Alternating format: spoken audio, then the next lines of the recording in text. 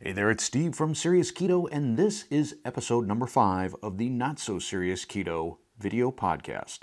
In this video, we will be talking a little keto in the news. I'll give you my impressions of the documentary The Magic Pill. I'll answer a couple of frequently asked questions, and this might be kind of an ongoing segment that I do because it seems like I get a lot of similar questions, and I'll just pick a couple every episode and address them. And then I want to revisit a topic from last week, which is all about comments and recipe requests, because I don't think I articulated it as well as I wanted to, and I'd like to clarify just a little bit. So, with that, let's get started with keto in the news. Now, this particular story has shown up in my Google News feed three times in the last two days. The original story came from a Fox affiliate in Charlotte but now I see the exact same article popping up from Fox affiliates in Houston and Arizona, and I'm sure this is going to keep happening. The story is about a man who was fired from his job at American Airlines for failing a DUI test because he was in ketosis. Now, I'm not actually going to mention this gentleman's name uh, out of respect. If you want to look up the article, you can see his name. I'll just call him Mr. Flight Attendant. Here's the article. I'm not going to read it all. I'll read some snippets in my best news reading voice. An American Airlines worker is fighting for his job back. He says he switched to the popular keto diet and that it ended up costing him his job. Mr. Flight Attendant is now in the fight of his life as he takes on the Department of Transportation and American Airlines to get his job back. Mr. Flight Attendant had been a flight attendant with American Airlines since 2012 when he was fired last year. He says it's because he blew a .05 on a breathalyzer. Now, as you read further, it talks about him also failing a breathalyzer test back in 2013. And that was, in fact, alcohol. But this time, he's saying that it's because he was on the keto diet that he blew a .05. This article has the faint aroma of BS to me for a couple of reasons. First off, I looked up what the DUI limit is in South Carolina, and it's 0.08. It's 0.05 if you are a commercial driver. So if he were driving a truck or a bus or something like that, then it would be 0.05. But for just a regular civilian, it's 0.08. So how is it that this counted as a DUI? That's my first question, and it's not answered in this article. The second is, and I'm just speaking as myself here, if I hadn't been drinking and I failed a breathalyzer test, I would ask to be taken to a hospital and have a blood test done. Even at my own expense, that makes far more sense than to have to go through getting an attorney and all of this jazz if you had a DUI.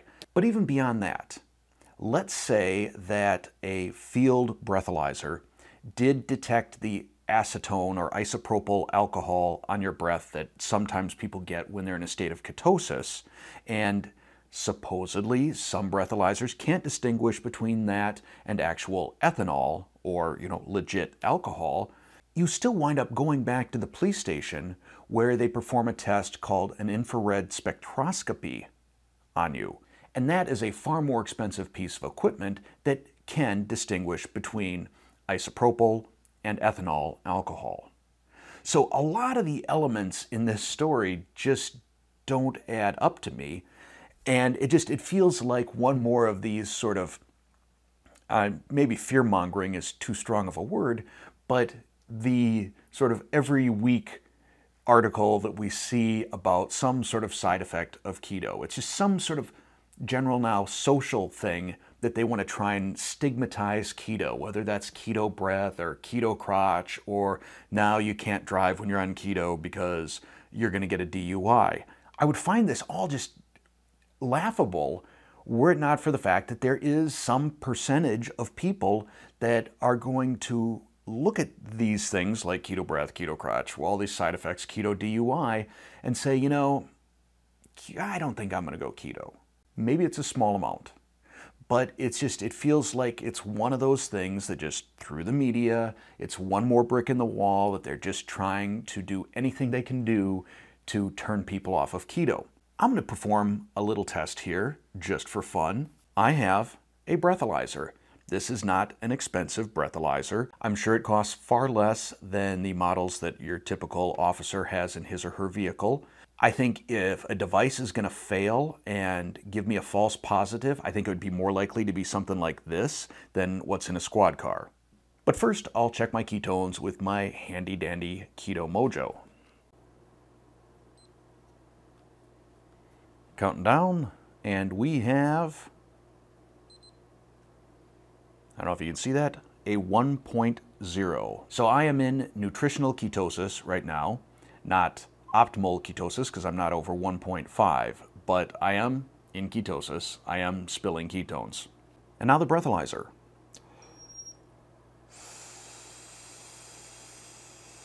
Zero point zero zero, nothing. So I don't know, maybe I'm not in high enough ketosis. Maybe this whole thing is just sort of BS. I'm not sure. Anyhow, that's not a scientific test by any means, just sort of uh, satisfying my own curiosity. But the article itself, the news story, there's just there's enough elements in it that don't add up, enough unanswered questions that I really kind of consider it bad reporting. And I think you can just sort of throw this into the bucket of more sensationalized keto news that's just trying to turn people away from keto. That's my thoughts anyway. After I reviewed the documentary Fat, a documentary, a couple of episodes ago, some people had asked me if I had seen The Magic Pill on Netflix, and I hadn't, so I watched that yesterday, and I enjoyed it. I think it is a considerably better documentary than Fat was. Some of the things that I liked about it, as opposed to Fat, first, it just felt a lot more balanced to me. It was first and foremost about a number of people who were changing their lives through a ketogenic diet. So less sort of that celebrity focus that Vinny, whatever his name was in, in Fat, was all about. It, it was about people.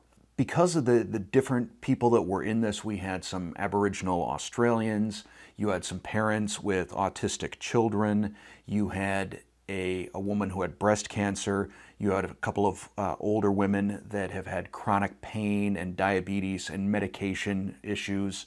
And there was another woman who had asthma. And I think there was a, uh, there may have been a couple of others in there, but there's bound to be someone that you can identify with and and their story is going to resonate with you I think on a more personal level. For me it was about the dad and his autistic daughter. I think anyone that, that has children that's going to hit them, you know, square in the chest. Just the the difficulty that he went through with that. I mean, I just got a little bit teary just thinking about it. And um, what, what an incredible challenge it must be to have a special needs child. So I really enjoyed that. I enjoyed the balance in the doctors and medical professionals that they showed. It seemed very, very even. There was nobody that was getting an inordinate amount of time, I think. There were a few people I think that they certainly could have spent more time with. Uh, there's Dr. William Davis, who wrote Wheat Belly. I'm pretty sure he's actually from Milwaukee, too, so, uh, you know, kind of local celebrity. You had Dr. Andreas Eenfeldt from Diet Doctor. Pete Evans is also in this. And Pete Evans, just as a side note, I think may be the handsomest guy in the world. I look at Pete Evans and I feel less attractive. he is just that good looking. The thing that I like about him too is when he listens to people, you see this empathy out of him that is just, it's amazing. He, it's like he's hanging on your every word. And I just think, I think that's super cool. I wish that were a skill that I had. Also, you have Joel Salatin, who I love. I love this guy. I read his book, Folks That Ain't Right. I think I had originally seen him in Food Incorporated. I really like this guy. I like his approach to sustainable farming and treating the planet well and treating animals well. And I just think he's, you know, a super cool dude. I wish we could get rid of these CAFOs, these industrial farms, and move to his sustainable model. And then there's a significant chunk also spent on Dr. Tim Noakes. Dr. Noakes gave some dietary advice in Twitter recommending that somebody move to a low carb, high fat diet, and then was brought up on trial in South Africa for unprofessional conduct. And you watch the footage from this trial, and it's an absolute witch hunt. As you watch that, it's hard not to feel a little bit of fear. Fear that big pharma and the big processed food industries have the lawyers and the money and the power to come after keto. They have the power to scare doctors. They have the power potentially even to come after a channel like this or Thomas DeLauer or Dr. Berry or whomever. They could go after Jason Fung. I mean, all of us, I think, potentially, if we got big enough and threatening enough, we could find ourselves on the receiving end of something like Dr. Noakes did. I hope that's not the case. I hope I'm just, you know, being paranoid about that. So that whole trial aspect, that was very interesting it was very interesting to watch all of these different and very disparate groups. I mean, in terms of their, their lives, their gender, their race, their geographical location, all benefiting from a low carb, high fat diet.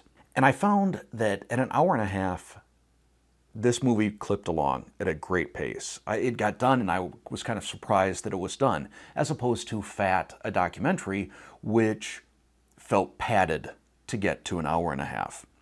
So I like that. Of course, they took some shots at Ancel Keys, which always makes me happy. I guess if I had any minor complaints about the magic pill, I think that because they show all of these different people and these different stories, while there will be one or two that really resonate with you, there's likely going to be a couple that you just can't identify with and may find yourself in some of these longer sequences with them getting perhaps a little bit bored. I also would have liked to have seen them come back to these people that had these incredible improvements, getting off of insulin, getting off of medications, the improvements in, in the autistic children, I would have loved to have seen this documentary return back to them six months later. And who knows, maybe there will be a sequel or something. It was so great to see the progress that these people made in just eight weeks. I wanted to see more. I wanted to, you know, come back, show me did they keep getting better? One last thing that just also didn't seem quite right to me. At the end, they ended the documentary with a song, and it was sung by the, the woman who had asthma and got all better. And it just, it felt a little bit out of place having a song at the end of a documentary. Uh, just something about it, it felt just strangely awkward to me. Kind of like when you're, when you're at a Mexican restaurant and they've got a mariachi band and they come and they play tableside and you're just like, okay, this feels kind of weird. Is this going to end soon? That's kind of how I felt. It's probably a horrible, horrible metaphor, but it just, it felt really out of place, and I kind of hoped that that song would end quickly. And then we could get on with whatever was left in the documentary. I would highly recommend this movie. I think it's a great movie for anyone that's on keto to watch. I think if you've got a friend or relative that's maybe on the fence that you think we can convert to keto, I would far rather they watch this movie than Fat, a documentary. This movie actually lowered my impression of Fat. So I would probably now give Fat a 6 out of 10, and I would give The Magic Pill an 8 out of 10. So, thumbs up, Magic Pill. And with that, we will take a brief commercial break. Hopefully just one commercial. You might get two. Hopefully you can skip the ads and come right back. See you in a second. So I'm not sure if this is going to be an ongoing segment for the show, but it seems that there are certain questions that I get asked on a fairly regular basis. We could say even frequently. They are frequently asked questions of Steve. So let me answer a couple right now. I get this one at least once a week. How tall are you? I'm 5'9". I guess maybe that helps you figure out was losing 75 pounds a big deal or, or not a big deal.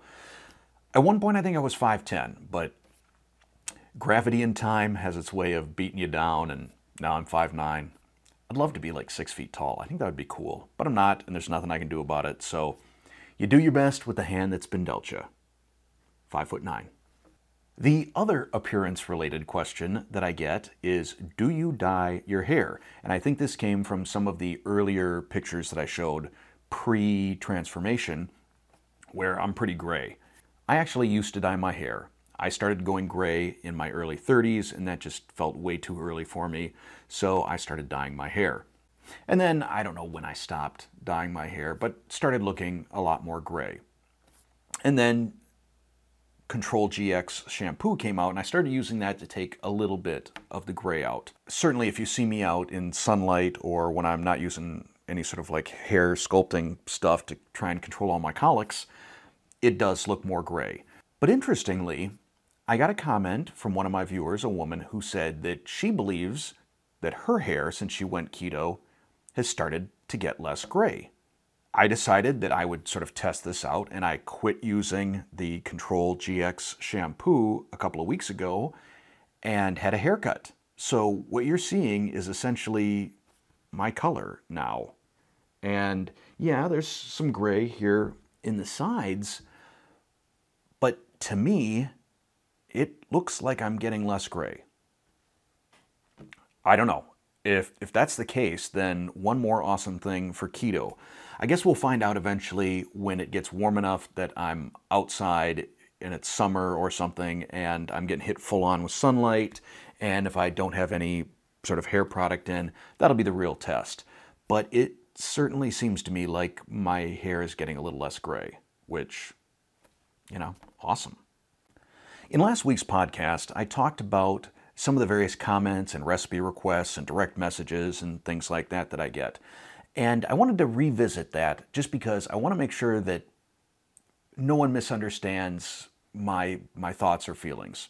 First off, I am amazed and I love the quantity of comments that show up in the comment sections of my videos. It really makes me feel like we have a community here together. And I especially love it when I see you all interacting with one another, not just asking me stuff, but helping each other out. It really it makes me feel great. It is tough for me to get to all of them. I try my best to read them all. YouTube does not have, so far as I can tell, a great system for comment management. Some comments show up in the upper left-hand corner, you know, where you got the little notification bell. I'll click on that and I'll see comments. But it seems like only a fraction of comments show up for me up there. If I go into the Creator Studio and then look at comments, I will see comments in chronological order, but oftentimes not replies that some of you leave for each other, only stuff that's directed to me.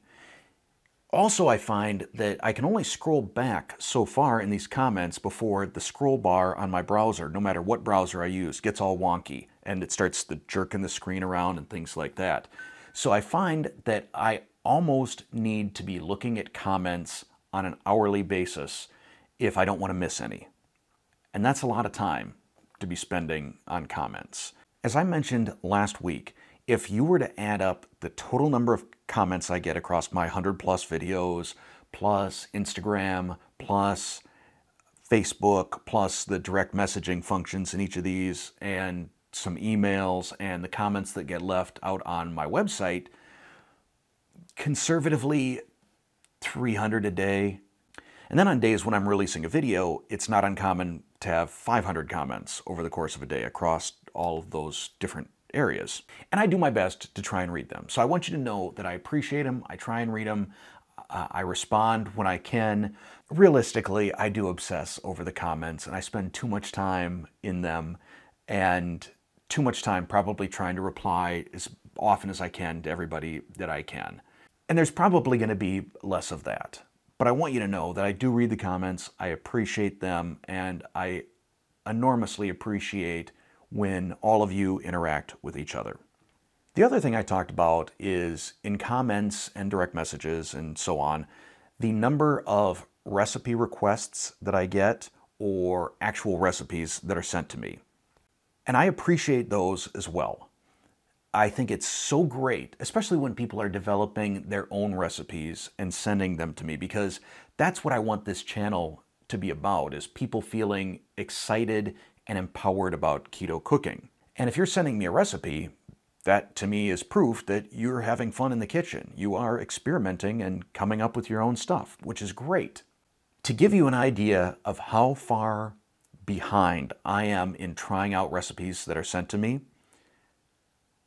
this weekend, I got around to a couple of recipes that were sent to me back in early October of last year. So I am a solid three to four months away from trying out your recipe if you were to send it to me today.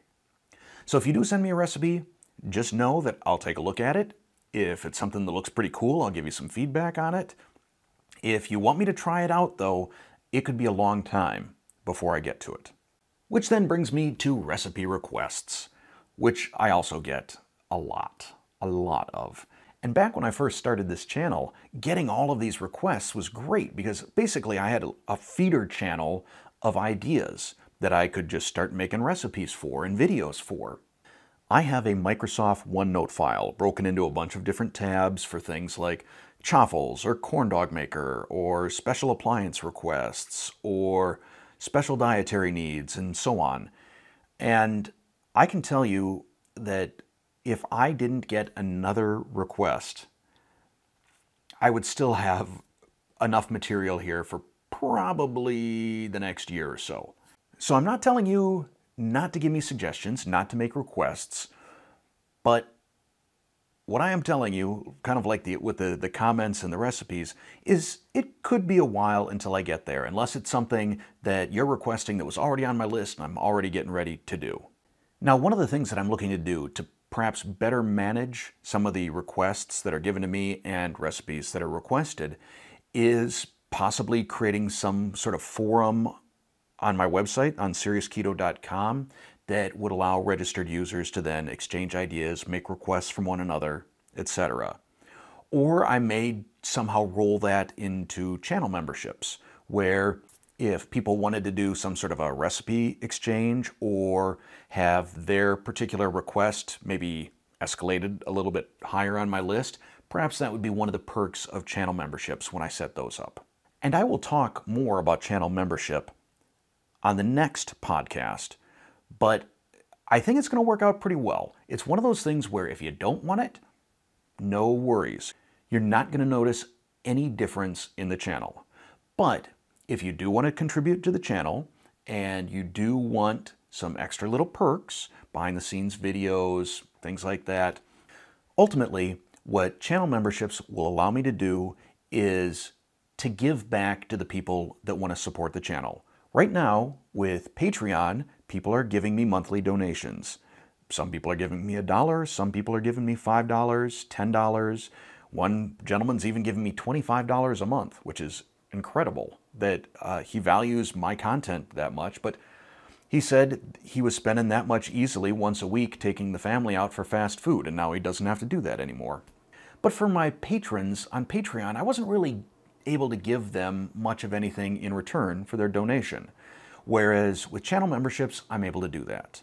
So don't look at channel memberships as me being greedy. It's not about extorting content. It's not about me eliminating content from people that don't donate, but rather it's about me being able to give some additional perks as my way of saying thank you to those people who do want to donate to the channel. But like I said, I'll talk more about that next week. That's it for this episode. Thanks for watching or listening.